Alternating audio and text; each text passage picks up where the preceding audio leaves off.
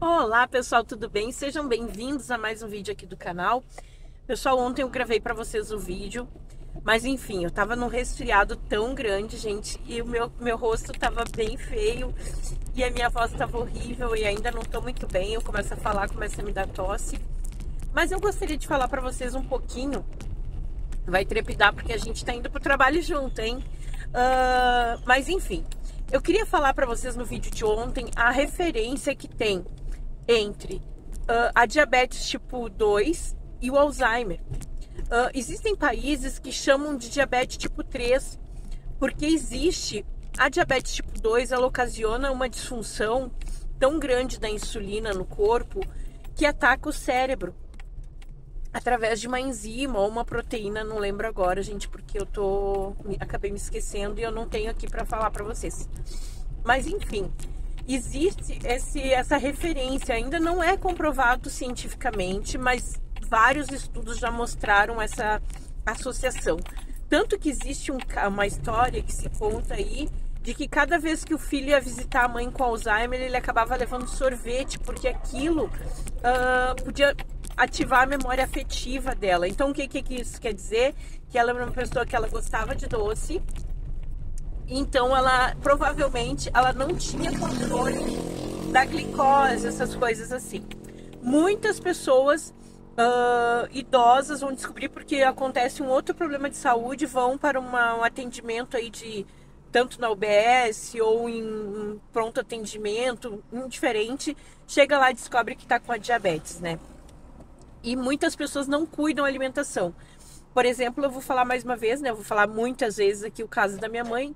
A minha mãe sempre foi uma pessoa que trabalhou, sempre foi muito ativa. E isso é uma coisa muito importante para que a pessoa não tenha Alzheimer. Mas a minha mãe, não, nós não tínhamos uma alimentação saudável. A gente comia o que tinha em casa: arroz, feijão. Não tínhamos o hábito de comer verduras, legumes. Então isso acabava que provavelmente afetou ela de alguma forma, se a gente pensar dessa forma aí. Gostava bastante de doce, ver, né? A gente cresce, a gente não não convive tanto com os pais, né? Eu saí de casa muito cedo. Desculpa. E mas esses dias meu pai me contava que eles pegavam uma lata de leite condensado e coco e misturavam e comiam de colher. Então, pode haver, pode ser que tenha acontecido esse distúrbio com ela, porque quando a gente foi para uma consulta, o que o médico referiu é que ela tinha uma falha no temporal, que é a parte do cérebro afetada. Então, enfim, pessoal, é só para que você entenda a, o quanto é importante que você cuide da sua alimentação e que você faça exercício.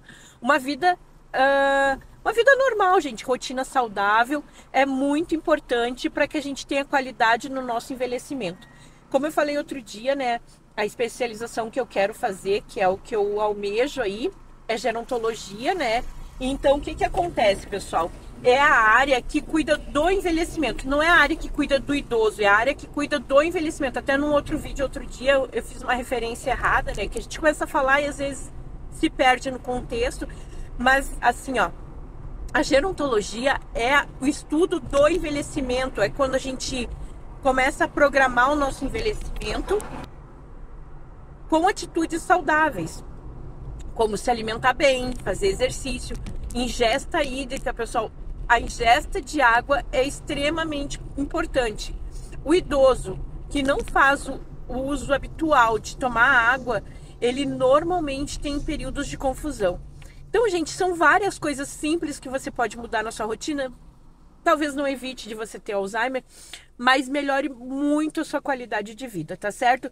Eu espero que você goste desse vídeo. Se te ficou uma, uma dúvida, qualquer coisa, deixa aí nos comentários. Eu vou ter o maior prazer de te responder, tá bom? Um super beijo e até o próximo vídeo.